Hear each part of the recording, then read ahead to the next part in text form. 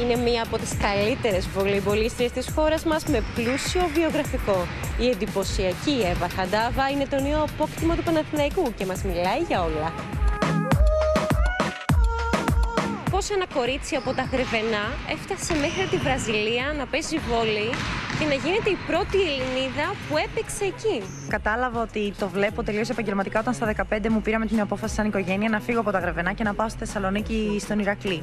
Από εκεί και πέρα είπα στον εαυτό μου ότι πλέον αυτό είναι που θέλω να κάνω. Η Βραζιλία πιστεύω ότι είναι ε, το καλύτερο πρωτάθλημα, ένα από τα καλύτερα σίγουρα από τα πρώτα τρία το πρωταθλήματα που υπάρχουν στον κόσμο. Προπονήθηκα με πολύ μεγάλες αθλήτριε και φυσικά παίξαμε παιχνίδια τα οποία ήταν πάρα πολύ υψηλού επίπεδου με όλους τους ε, φανατικούς του βόλεϊ που είναι. Γιατί εκεί πέρα, ξέρετε, έχουν το ποδόσφαιρο σαν θρησκεία και το βόλεϊ γυναικών είναι το πρώτο άθλημα που πάνε και βλέπουν. Οπότε ο, η ατμόσφαιρα στα γήπεδα ήταν εκπληκτική.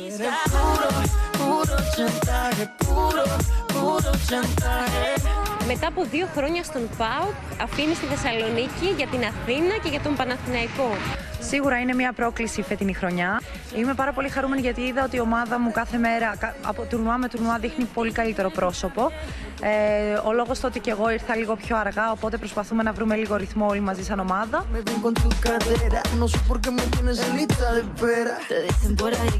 Η απουσία κόσμου είναι ένα πολύ μεγάλο μείον εννοείται φέτος και ειδικά σε αυτή την ομάδα που είμαι, γιατί όπως όλοι ξέρετε, ο Παναθηναϊκός έχει πάρα πολλούς φιλάθλους που έρχονται σε όλα, σε όλα τα μάτς, ανεξαρτήτου αν είναι αδύναμος ή αδύναμος ο αντίπαλος.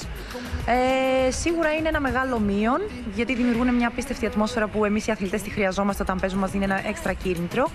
Αλλά θέλω να πιστεύω ότι μετά τα Χριστούγεννα προς Ιανουάριο, ότι σιγά σιγά ο κόσμος θα επιτρέπεται στα γήπεδα έτσι ώστε να έχουμε όλ, όλα αυτά τα σκηνικά που μας λείπουν.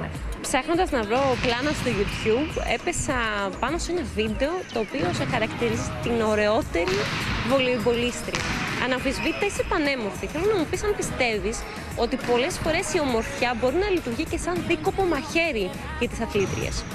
Σίγουρα κάποιοι μπορεί να το χρησιμοποιήσουν και έτσι. Δηλαδή, έχει τύχει να ακούσω ότι μπορεί να έχω πετύχει και όλα αυτά που έχω πετύχει λόγω και της εμφάνισής μου, αλλά αυτό δεν θεωρώ ότι είναι η αλήθεια, γιατί έχω δουλέψει πάρα πολύ σκληρά.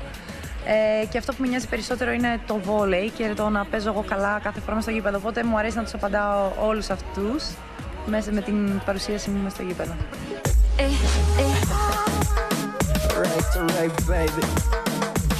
Τι σου αρέσει να κάνεις ε, εκτός γηπέδου, παρακολουθείς την μόδα, πηγαίνεις για ψώνια, ασχολείσαι με τον εαυτό σου; Σε ποια γυναίκα δεν αρέσουν άλλωστε τα ψώνια.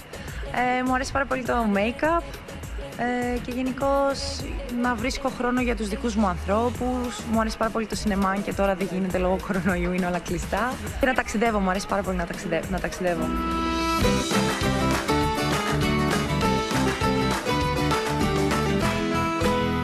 Αγαπημένο φαγητό. Μακαρόνια με κοιμά. Αγαπημένο χρώμα. Μοβ. Σε τι σπαταλάς τα περισσότερα σου χρήματα; Σε ίδια μορφιά.